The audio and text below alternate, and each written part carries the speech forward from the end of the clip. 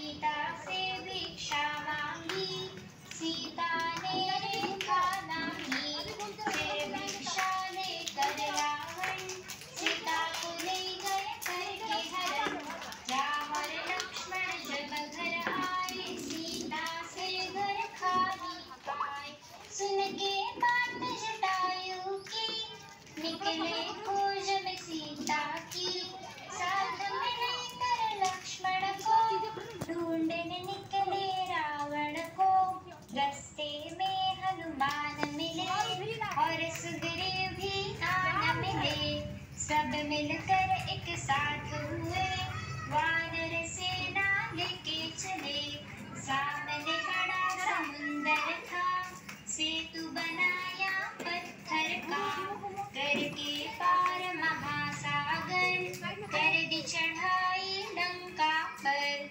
राम ने अंत युद्ध जिता। मिल गई अंधेर